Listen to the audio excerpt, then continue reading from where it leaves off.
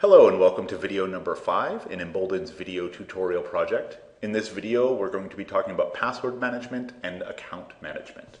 This, as I'm sure you recognize, is our login screen, which we went over in video two. As you probably remember, there is a forgot username and forgot password function right on the login screen. So should you ever forget your username and password, uh, you can come here, click forgot username, put in your email address, the system will send you your username, put in your password, I mean, click forgot password, put in your username, and the system will send you your password.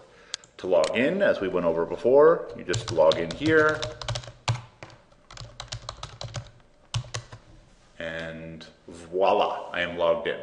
Now, when your username is first created, when your account is first created, you will usually have a randomly generated password sent to you that's just it's a random bunch of characters selected by DNN it's not a word. It doesn't mean anything. And it's generally almost impossible for you to remember so the first thing you'd want to do the very first time you log in is update your password and change it to something that is unique to you that is not shared with all of your colleagues um, and is something that you can actually remember. And the way you update anything in your account, whether it's your username, your password, or any of other information, is to come down to the very bottom of the screen where you would normally go to log out, um, and you want to click your name over here, your display name. And this will get you into the account management screen.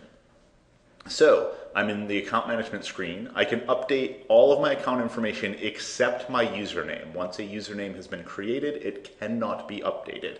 Um, but if I wanted to update my name, if I wanted to update my email address, anything like that, I would update it in here and remember to click update when I am done.